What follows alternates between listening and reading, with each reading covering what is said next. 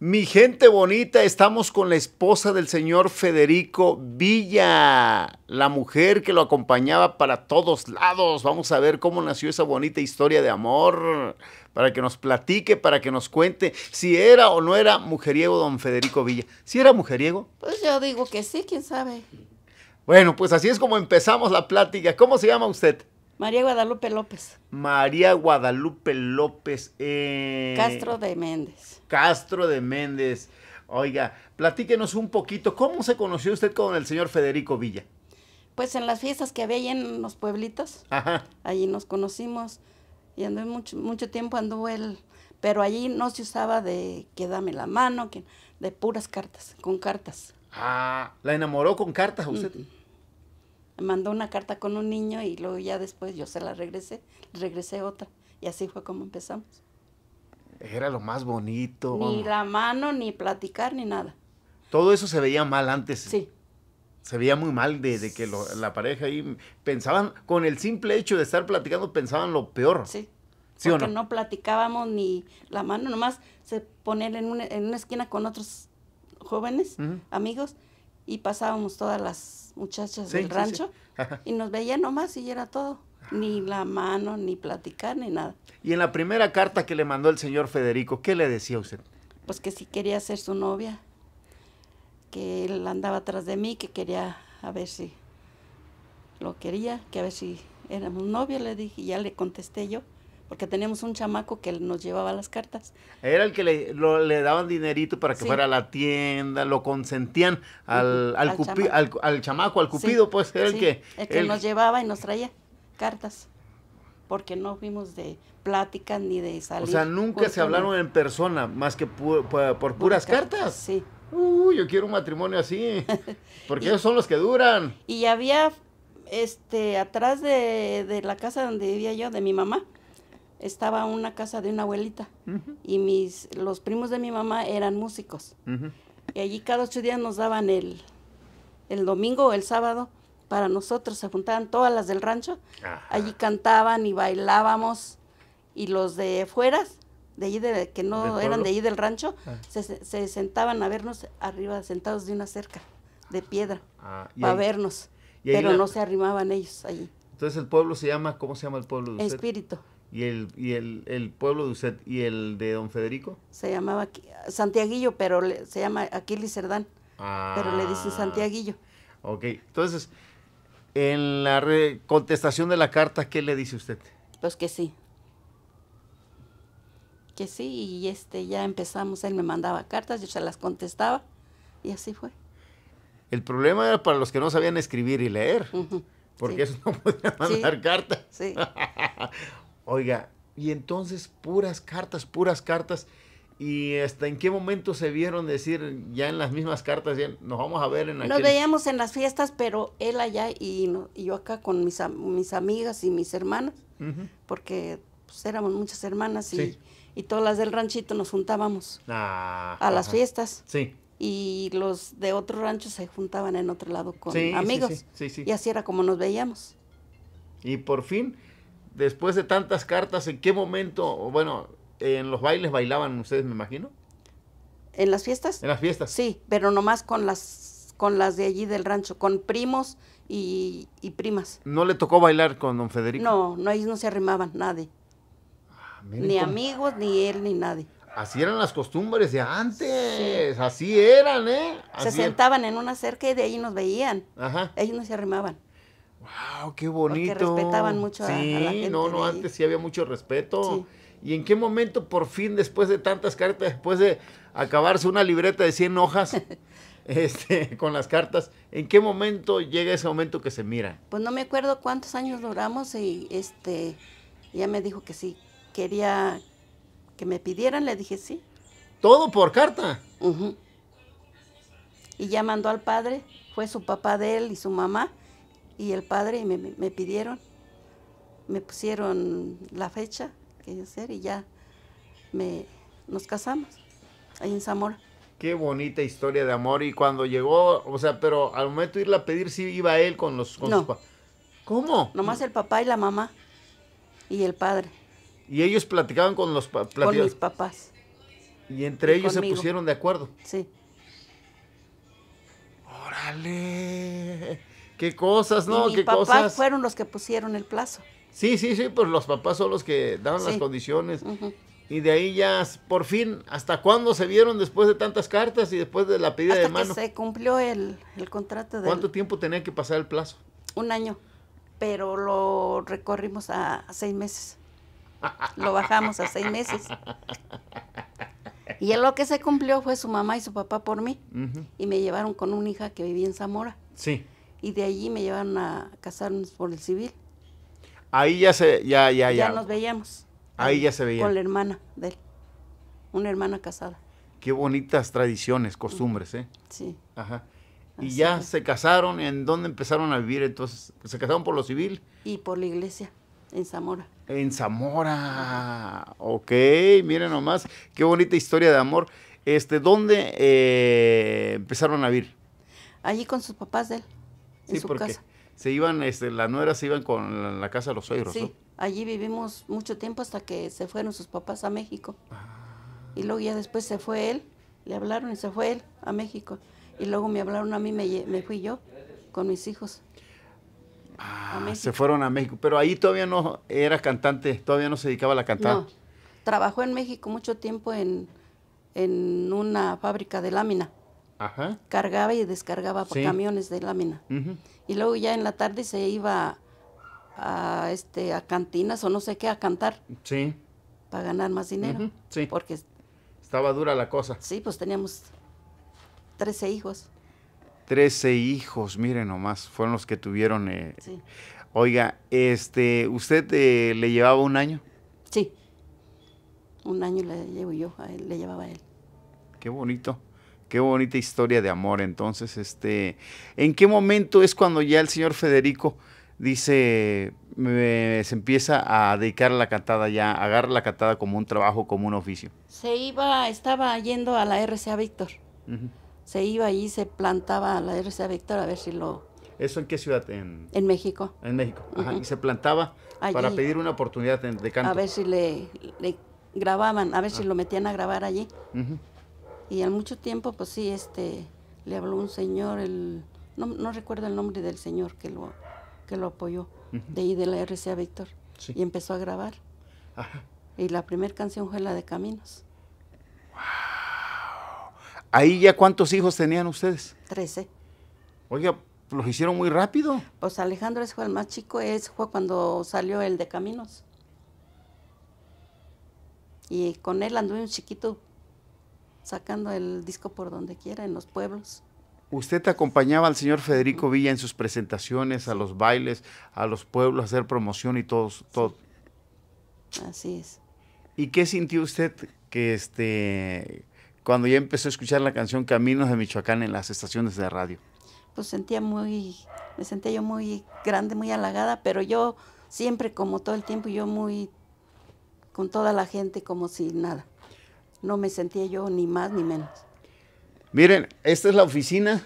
Aquí hay algunos eh, recuerdos, fotografías, eh, reconocimientos del señor Federico Villa. Aquí estamos en Tlaquepaque, aquí en su casa.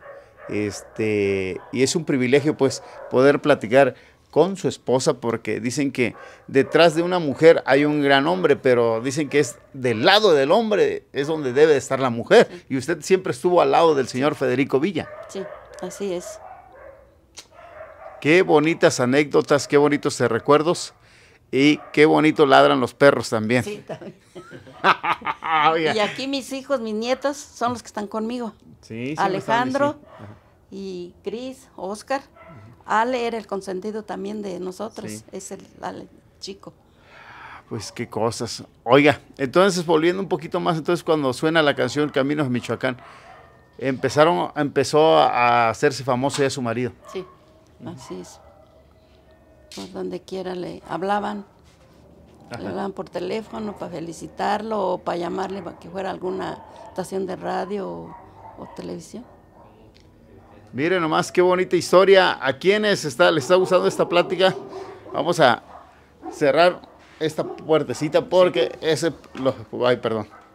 Esos perros sí salieron buenos para ladrar. Sí. Este, Entonces se viene ese gran éxito y usted siempre, a él, a él le gustaba andar con usted, usted con él, Sí, así es. para todos lados. Sí, y hasta que ya no quise yo, dije, no, yo ya, ya no, ya estoy grande, ya. Se cansó de viajar con él. No, no me cansé, sino que sentía yo que decían, ay, ese señor está grande para él. Ah, o sea, que lo vieran junto al señor Federico y que dijeran, está muy grande Sí. para él. ¿Eso le daba pena a usted? Sí, No le gustaba que dijeran eso. ujú. Mire nomás. pero yo para Estados Unidos, a donde quiera andaba con él.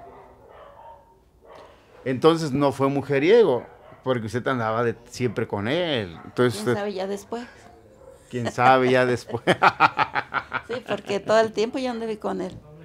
Qué bueno. ¿Y qué le gustaba comer al señor Federico Villa? Cuéntenos un poquito. Todo. Él comía de todo, le gustaba todo. Lo que le gustaba mucho eran los mariscos. Ah, los mariscos. Ajá. Oye, pero se veía muy fuerte su esposo, Sí. muy sano, este, no aparentaba la edad que, que- que tenía, no. ni usted. No, yo sí, yo estoy 85 años, No. tengo, 86 tengo. Se mira muy, muy entera para la edad que, que- que usted tiene, la verdad, oye. No, ya estoy grande. Pero este, completa, se, está saludable y todo. Pues no creas, siempre a veces me llevan al doctor mis hijas. Tengo unas en León, un hijo en León, una, una hija y un hijo en León. Y ellos son los que me hacen citas para ir al doctor allá. Aquí Alejandro es el que está al pendiente de mí. ¿Y cuál era el sueño del señor Federico Villa, eh, pues después de hacer tantas películas, después de grabar tantas canciones? ¿Qué, qué pensaba ya él? ¿No pensaba retirarse de la música? No, Quería seguir- nunca dijo nada de que, que se quería retirar, nunca me dijo a mí nada. Nunca dijo, ya estoy No. cansado, ya, ya, ya no aguanto más. No. Siempre llegaba, cuando llegaba ya de trabajar este cansado, pues le echaba un, le daba una flotada de alcohol en la espalda, este, le daba algo para que descansara, pero nunca dijo, ya me voy a retirar. Nunca pensó en No. retirarse entonces. No. A mí nunca me dijo. Así es. Entonces, de los 13 hijos que tuvieron, ninguno este, se dedicó a la cantada. No. Bueno, Ale algo. El que sí era mi nieto. Y estos otros que andan ahí queriendo también. El Ale se anduvo mucho con él también. El Ale chico. ¿Qué película le gustaba mucho de su marido? Pues casi todas. Y yo, a mí me metió en una, pero, pero nunca la han pasado esa película. ¿En serio? sí. ¿En qué película la? No me acuerdo el nombre de la película, la hizo un hijo de, de Julio Al, Aldama. Aldama. Y le hicieron por allá en Tecala de Morelia. Entonces le gustaba pueblito. mucho la actuación a su marido. Sí. Y me metió a mí en esa, él. Y iba a meter a una de mis hijas, pero vio que el- un muchacho le iba a besar. Dijo, ah, no, no, no, eso no. Dice, no, no, tú no, siempre no. Y metió a otra muchacha.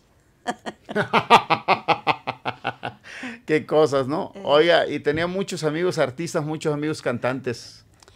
Antonio Aguilar en Estados Unidos lo vio un día y lo abrazó. No, dice, eres bien fregón, tú bien trabajador, Federico. Con Vicente Fernández estuvo Ale y él ahí con él en su casa una vez. Se veían bien. Con muchos artistas. Cantantes se veía bien con todo. Pero imagínese que este Antonio Aguilar le dijera a, Fe- a don Federico que eres bien fregón, o sea, porque Sí. él admiraba la música de don Federico, ¿no? Sí. Hijo, sí. Sí, sí, sí, dice. Eh, eh, es, es que llegó, llegó el del agua, creo. Uno, hijo. Es una entrevista natural, ¿no? De lo que se vive en casa. Mire, pues este, recordando al señor Federico Villa, mirando ahí sus fotografías eh, de las películas, de los discos que grabó, tantos, tantos recuerdos, pues que este, se quedan con nosotros. Él ya descansa en paz. Este, ¿cómo fueron los últimos momentos de cómo se enteró usted que, que, que, este, que estaba muy malito, que Pues nomás empezó así como a doblarse, a fíjate que me siento mal, ¿y qué tienes? Pues no sé, Lolo le hablamos a un doctor, vino y lo vio. Y este, y dijo, no, dice, pues lo que tienes de la cabeza como que trae algo, algún pendiente. Él desde que murió el Ale no quedó bien. Desde Alejandro el nieto. El chico, eh, lo quería mucho y desde entonces no quedó muy bien. Entonces vino el doctor, lo vio y luego ya lo subieron, le pusieron suero y, a los dos días lo iban al hospital y allá quedó. ¿Cuánto tiempo estuvo en el hospital? Tres días creo. O sea, hace que fue muy rápido todo. Todos mis hijos estuvieron ahí cuidándolo, unos en la noche, otros en el día. Y estuvieron. ¿Y qué siente usted al escuchar la música cuando va por las calles, cuando de repente escucha la música de su... De, ¿cómo, cómo, le decía de cariño él a usted o, usted a él? María, él me decía María. ¿Y usted? Federico. Federico, mi amor. Había mucho amor. Sí. ¿Y qué siente entonces de cuando escucha una canción de repente y que es su marido el que está ahí? ¿Qué es lo que nos dejó? Pues, pues para mí mucho, mucho cariño y mucha y tristeza también a la vez, porque oigo una canción y siento que que está con sí. Yo duré mucho tiempo que creía que andaba afuera. Sí, porque pues pues al último ya él sí iba él, yo no iba con él y yo en la noche lo esperaba. duré mucho tiempo esperándolo. Ya, o sea, ya después de que falleció, usted te se la pensando que en que iba a regresar. Sí. Como lo hacía cuando estaba con, con, vida, que usted que pues se iba a trabajar y llegaba a la hora que fuera en la noche, él traía llaves o me hablaba, ya llegué, ya estoy aquí. Ah, me bajaba y, y él le ayudaba a sacar sus cosas y a, a ponerle ropa limpia para que se acostara. Qué buena mujer, qué buena mujer, oye. Pues recordando al señor Federico Villa en esta bonita entrevista con su esposa, con la única esposa, y no hay más esposas. ¿Qué creo? Que es? ¿Es lo que... ¿Qué? Creo, digo. Cree, la señora cree que es la única esposa, yo creo que sí es la única esposa, pues andaba sí, para todos lados. sí, porque estamos casados por lo civil y la iglesia. Ah, pero usted dice Pero quién sabe. No, no creo, no creo, don Federico. Pues imagínese en qué tiempo, pues si no, usted siempre estaba checando, lo digo, ¿en qué momento? ¿Qué momento? Pues recordando al señor Federico Villa hasta el cielo, y aún me acuerdo porque cuando fuimos a su rancho allá en Tequiza, nos atendió muy bien, nos daba un refresquito, nos daba una copita, ¿qué quieren de comer? Y al famoso Prieto que le decía, ¡Hazte Prieto! Le decía al perro. Así le dijo al perro, así me acuerdo que le dijo. Saludos a mi gran amigo Pedro Molina, bendiciones para usted, a toda la gente que nos quiere, a toda la gente de Michoacán, Guanajuato, a la gente de Guerrero, Oaxaca, a la gente de Jalisco, donde quiera que se escucha pues la música del señor Federico Villa. Aquí estamos al pendiente de usted, señor. Aquí estamos con usted y queremos seguirlo recordando por siempre y todos esos seguidores que dejó también lo quieren y lo siguen recordando pues. Por supuesto, saludos a mi amigo Ricardo eh, Escalante Zavala del canal Qué Curada es para que lo sigan también. Gracias. Caminos de Michoacán y pueblos que voy pasando. Así Muchas gracias. Así empezaba a cantarlo, con muchas ganas lo hacía, con mucho amor y con mucho sentimiento lo hacía. Yo me acuerdo, yo me acuerdo porque tuve el honor de hacerle la última entrevista. Y lo vamos a recordar siempre, señor Federico Villa. No le vamos a fallar. Ojalá que sí. Gracias, señora, por esta plática. Gracias a ustedes. Gracias, saludos. Hasta luego, gracias.